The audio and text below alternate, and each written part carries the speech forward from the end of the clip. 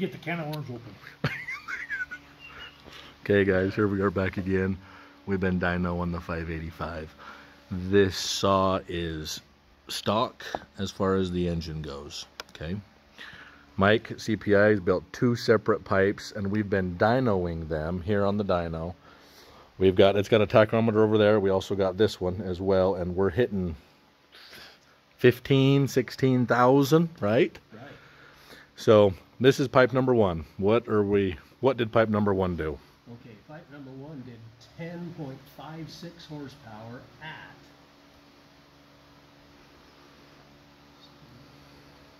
eleven thousand three hundred RPM. And that's and that's the peak. That's the peak. That's the peak. Yes. Okay. It, it holds okay because at ten one it still has 9.925. But by the time you get down to seventy five hundred, it has five and a half. Okay, Okay. now pipe number two, the pipey one. Pipey pipe. It peaked at 10.19 horsepower at 13,000 RPM, but at clear over at 15,600 RPM, it still has 9.549 horsepower. So a little over nine and a half horsepower. So the question is, which one will cut faster? Yeah, which, You can lean on pipe one harder, but would you have more chain speed with pipe two, right? there we go. There's the question, guys. Okay, we should maybe mention the torque, which is also different.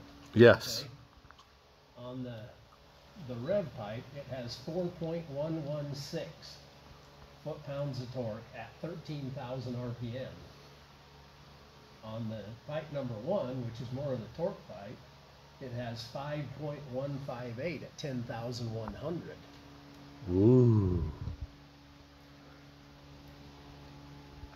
Okay, guys, because the guys online seem to know a lot more about pipes than we do. Tell us, tell us your thoughts. Which one's gonna, which one's gonna cut faster? Pipe number one, or pipe number two, which we call the RPM pipe. Yeah, let's label them. We're gonna torque pipe on this one. Yeah, that's over five foot pounds of torque. And we'll hmm. just label this one rev, okay? Yeah. Because this one, no wonder you can lean on it. Yeah, really. You can lean on that thing as hard as you want, and she does not bog.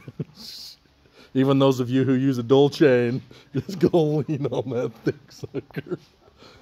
Anyway, guys, there's some uh, food for thought. Let us know your thoughts on which one you think will cut faster in the wood.